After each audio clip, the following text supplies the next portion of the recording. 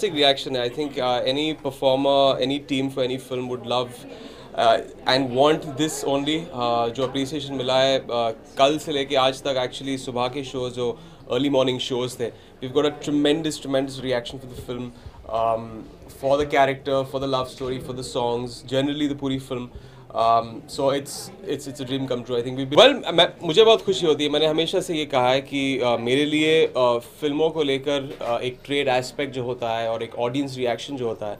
that is paramount for me और um, यही चाहते थे हम and we got it we got a tremendous reaction Friday opening अभी uh, तीन बजे का शो है तो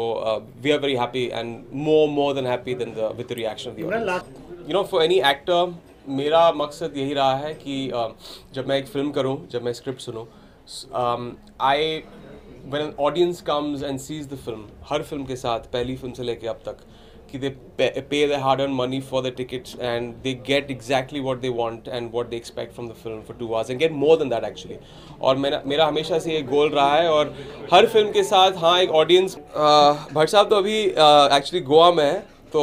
अब ये डिमांड जो है ब्लैंक चेक किया या जो भी है वो वापस आके करेंगे। So will see when that happens